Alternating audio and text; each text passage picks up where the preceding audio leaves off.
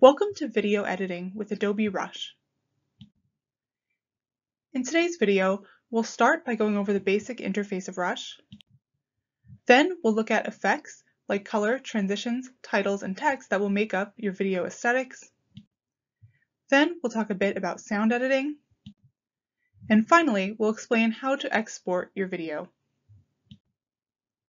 Let's get started. If you've never opened Rush before, the first thing to do is click on New Project as soon as you launch the software. Sometimes Rush will try to offer you tutorials and walkthroughs. You can do those if you'd like, or you can exit those right now because we'll go over much of that material together today. Make your life easier by keeping your work organized from the start. Be sure to name all of your files, including your project, descriptively with a title, course number, and date. You can do that here in the bottom left-hand corner. When you create your file, you may also want to adjust some settings. You can do this by pressing the gear icon next to the project name highlighted by the yellow arrow here. You can choose the aspect ratio you'd like your project to have. If you don't choose one, Rush will automatically select one based on the clips that you've imported. You can also adjust two effects. First, you can turn off or on auto reframing. This is a feature that will automatically match new clips to the current aspect ratio of your video.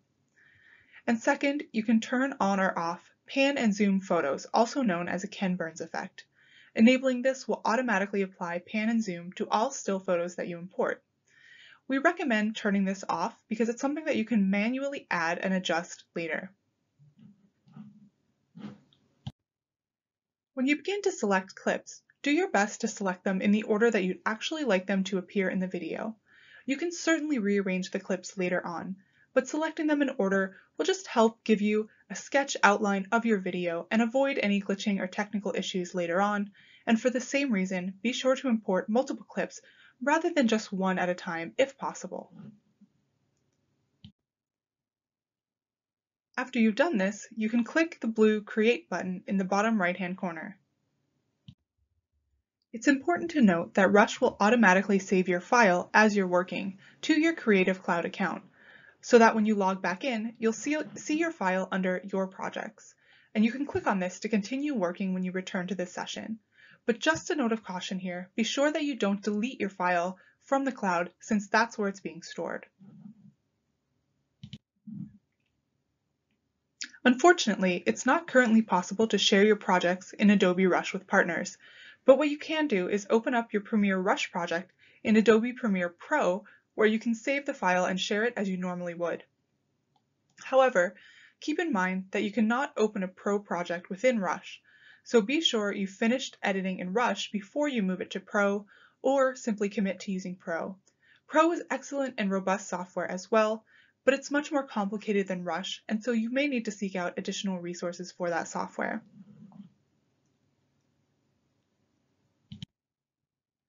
All right, let's move on to talk about some basic principles of editing.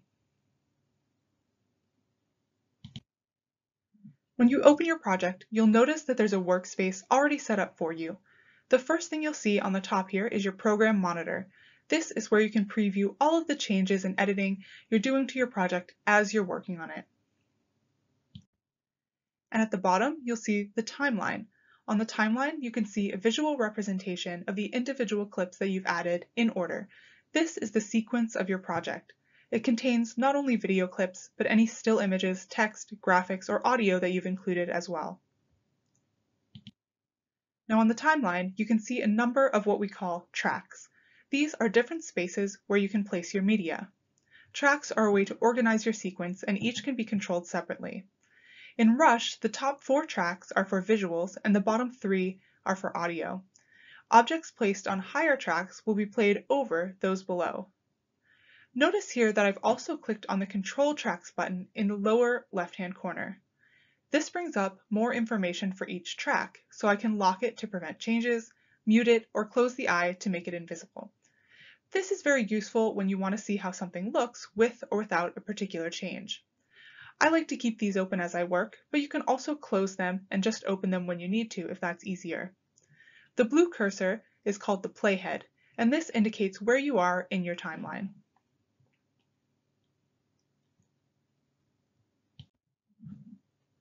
You can view your available media for the project by clicking on the small bin icon in the upper left-hand corner. This will open your Project Assets panel, which contains all the different pieces of media that you want available for your project. It can include video clips, still images, graphics, or audio.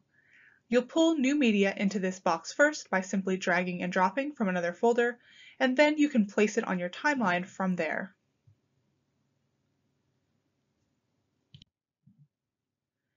I want to point out how similar the mobile version is. You can see here that the setup is largely the same. This will be the case for iOS or Android. It's simply been condensed for your mobile screen and rearranged a bit for a new aspect ratio. But I can continue to scroll back and forth through the editing tools at the bottom here instead of the sides. Otherwise, it, all these tools will work in the same way and the icons are identical. One small difference is that instead of moving the blue playhead back and forth, you'll actually scroll through the entire area of tracks and the playhead will stay in the middle. We'll continue on a desktop because it's a bit easier to see, but you should have no trouble following these same steps in the mobile version if you'd prefer to use that. Okay, let's start by getting an overview of the key tools that you'll use in Rush for editing. First, on the left-hand side, you have split clip, which looks like scissors, duplicate clip, delete clip, expand audio track, and control tracks. Split clip will cut your clip at a particular point. Duplicate clip will copy and paste a clip for you. Delete clip will delete a clip. Expand audio track will just give you a little bit more space to see the audio as you're adjusting it, and control tracks will open up the functions I mentioned just a moment ago.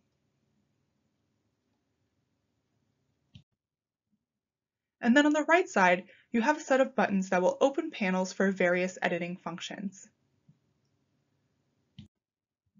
These include graphics, effects, color, speed, audio, and crop and rotate. If you don't remember these, don't worry about it. Adobe makes this very easy. You can simply hover over the icon and it will tell you what panel it will open. Let's take a look at each of these panels in turn. One of the first things you'll want to do when editing is what we call trimming a clip. Say you filmed an interview, but you want to get rid of the small talk in the beginning or cut a bit off the end.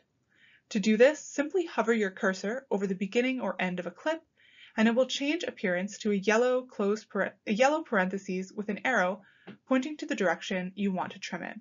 Now you can simply click and drag the clip to be either longer or shorter. Note that this trimming, as well as any other edits you make, are what we call non-destructive editing. So, just like Photoshop or other editing programs you may be familiar with, you're not actually cutting or destroying in any way the media file itself, but you're simply telling Rush what section you'd like to be included in the project you're working on. So if you want to go back later and include the parts that you cut out, that's no problem at all. You'll also want to split clips at various points. To cut footage in the middle of a clip, simply move your playhead to the location where you'd like to make a cut, and then click the scissors button in the left-hand toolbar. It will then split your clip. Splitting clips is useful when you want to, for example, show part of an interview, then show another image or clip, and then go back to the interview.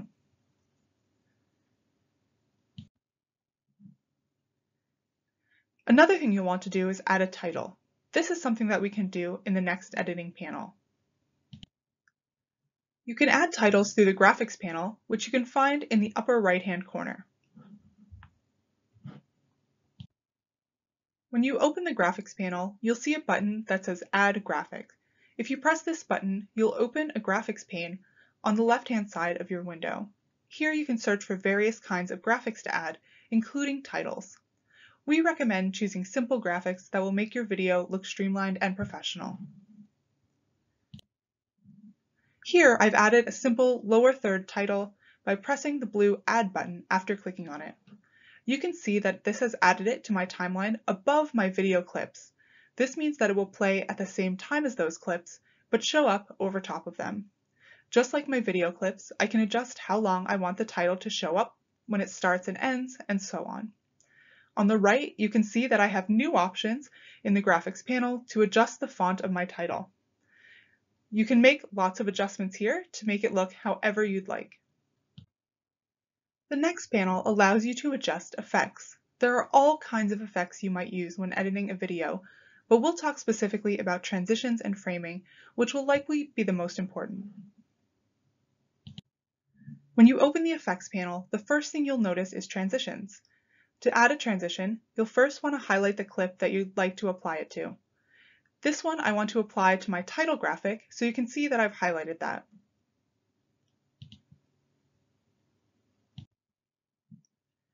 Let's say that I want my title to wipe away to one side of the screen while we move on to the next clip. Making sure that my title graphic is highlighted on the timeline, I simply click on Wipe Right to add that effect to the clip you'll see that it's added a small icon of the effect on either side. This is how I can tell what effect is being used, and I can also adjust the length of this transition by clicking and dragging on those new gray handles. But what if I want that transition to play in a different way, like take a longer time on screen, for example? This is also something that you can adjust. Note that you might have to zoom in as I've done here by simply pressing the plus sign a couple of times. You can zoom out by pressing the minus sign. That'll make it a little easier to see and then grab and drag the effect.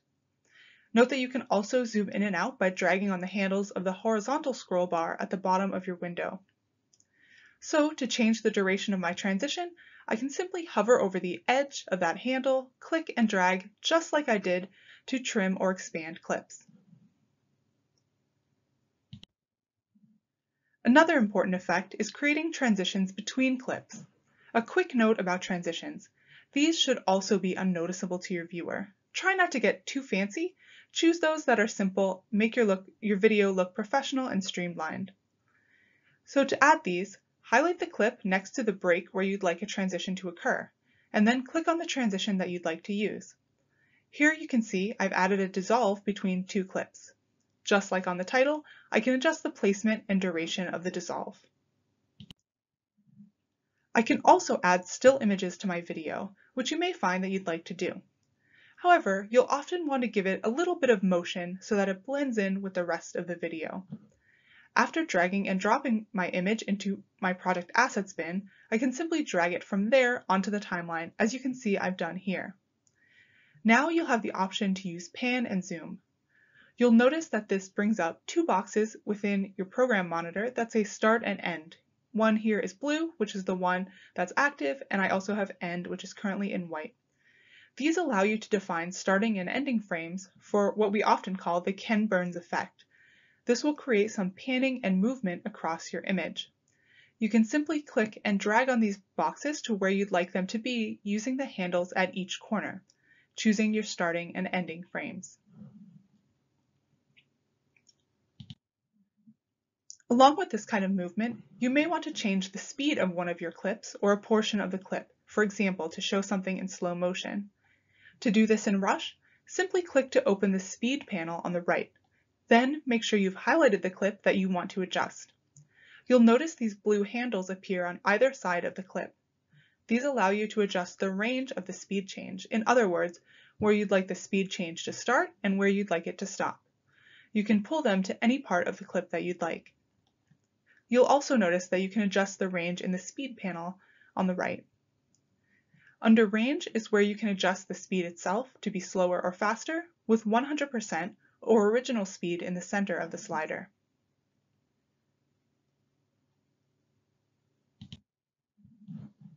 You may also find that you'd like to change the shape or orientation of your clip. For example, here I've added a clip that is in portrait instead of landscape orientation. You can see this is the case in the clip preview in the timeline, noticing that there's black filling in either side of that portrait orientation. However, notice that when I placed it on the timeline, Rush automatically tried to reframe the image so that it's the same as the rest of the sequence. However, you can see that in doing so, the figure in the image has been cut off quite a bit. What if I don't like how Rush has done this and I want to include the figure in the frame instead? To make this adjustment, I can use the Transform panel. Rush makes this very easy. First, I can simply click and drag using the handles on the frame, and I can pan by clicking and dragging on the image itself. In doing so, I can easily readjust which part of the frame is included. Now I can see more of my figure. Notice that doing so has also changed the position of the sliders in the transform panel. You can adjust the position using these if you'd like to be more precise. In this same panel, you can also adjust zoom in and out using the scale sliders. And under advanced, you can crop the image as needed.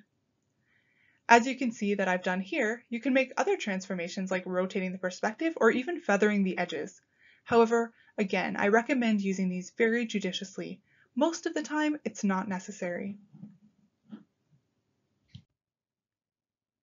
I'd also like to note that if you would prefer your clip show up in an orientation different than the rest of your video, for example here showing up in portrait mode instead of landscape like the rest of my video, you can certainly accomplish that in Rush.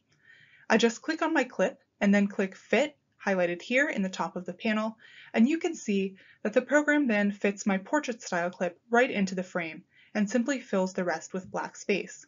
However, try to avoid this unless you're doing it for a clear and specific purpose.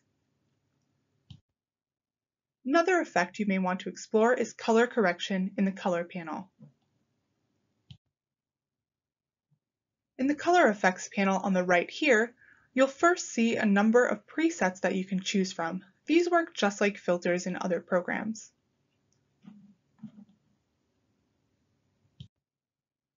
And you can adjust the intensity of each of these presets with the intensity slider at the bottom of the panel. Also notice these buttons at the top of the color panel. The first allows you to apply the setting to all clips across your video. This is great to ensure that you have a consistent look. And the second button with the backwards arrow allows you to revert the clips to their original color.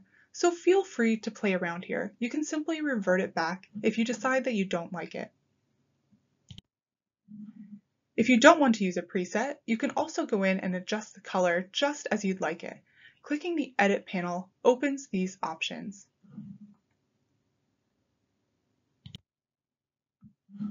Next, let's take a look at sound editing in Rush. First, you'll bring up the audio panel, which you can see here on the right. You could click the Browse button in the audio panel to open up a number of sounds and songs that have already been included in Rush for you. You can click one and press the blue Add button at the bottom to add it to your timeline right where the playhead is situated. You can also bring in your own music by simply adding it to your Project Assets box and then dragging it into your timeline. You can raise or lower the volume of your clip here under Basic. If you expand Advanced options, you can also make adjustments depending upon the type of sound that you'd like to include, voice, music, or other.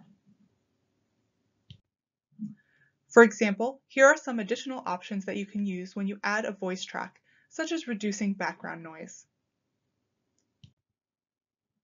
Also under Advanced, you can open the channel sliders. Here you can adjust whether sound is being played in the left or right ear.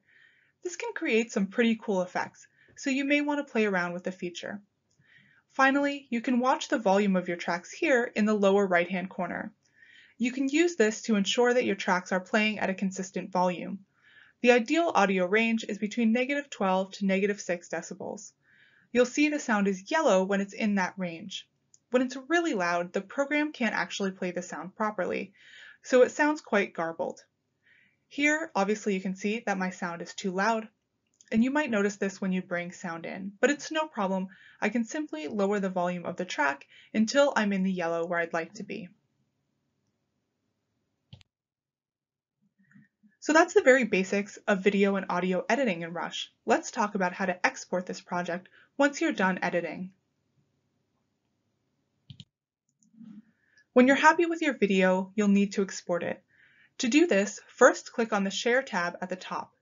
You'll want to save the video to the device that you're working on, so you should turn on Local under Destinations. This means your local device. We suggest saving it to your local device before uploading it to various social media sites if that's your intended destination, simply because it gives you more control over your media file. Be sure to name your file something descriptive so that you can easily identify it later. If you expand advanced settings, you'll have a few more options. Under preset, you can adjust the resolution to automatic or several Facebook or YouTube oriented settings. I would suggest leaving the other settings the same. Then simply click Export, the blue button in the bottom right hand corner, and then it may take a bit of time to render. The higher resolution, more edits you've made, the longer it may take to render. But when it's finished, you can simply click Done and the file will appear where you've told it to go. Congratulations! That's congratulations! That's Premiere Rush. You've exported your first video. I hope you've enjoyed the process.